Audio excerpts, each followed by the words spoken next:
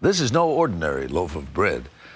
It traveled here by plane all the way from Paris, a city where the fine art of baking is handed down from one generation to another lovingly and sometimes poignantly, as we're about to see from David Turecamo, our man in Paris. In a little bakery on a side street in Paris, I once saw a demonstration of how to make a simple sugar cookie. The baker was a man who could elevate even cookie dough to an art. But look at that. It's a piece. I'm sorry, but it's beautiful. His name, Lionel Poilâne. Lionel Poilâne was probably the most famous baker in Paris, maybe even in the world, because I always think that if you're if you're famous in baking or pastry in France, then you're famous in the whole world, because that's really where the great stuff is. Uh, now, this is Dorie Greenspan, and she's considered one of the foremost authorities on baking. Her numerous articles and 10 books include Baking with Julia. Mm, that's right, that Julia child. And it was about seven years ago that she asked me to shoot Monsieur Poilâne making the cookies. You know, I'm tempted to, to say that when you look at, at Lionel Poilâne making those cookies, what you're seeing is magic. I mean, it almost looks like magic. And even I, and I know nothing about baking, e- even I was impressed by It's finished. the economy of his movements, the way he used his hand, one hand. Working with one hand is actually a baker's trick, so that your other hand is clean in case you have to do something with it. The shop was opened in 1932 by Lionel's father, Pierre. Today, they draw people from all over France and even the world. Their specialty is a sourdough bread baked in the 300 year old oven downstairs. And those cookies? Well, they're called punitions. That's uh, punishments in French. Now, you can buy a box, although it's part of the charm and the generosity of their spirit that there's always a basket of them on the counter.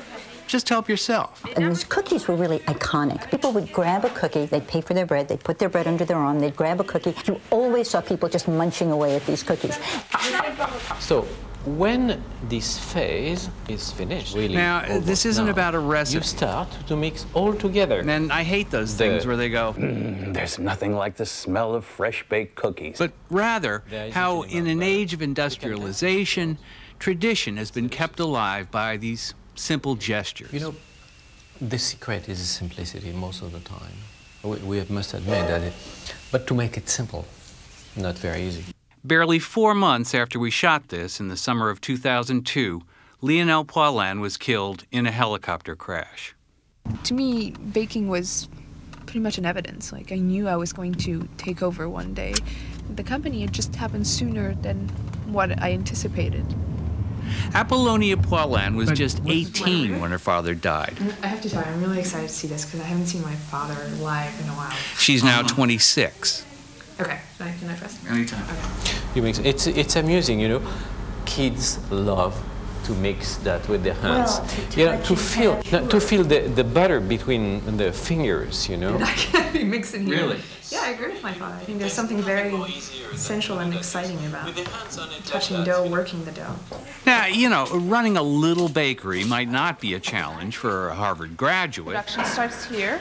Yeah, Apollonia went to Harvard. But her father believed For me, uh, hands are more intelligent than a mixer. Okay, but it's So he decided to train others using the same techniques.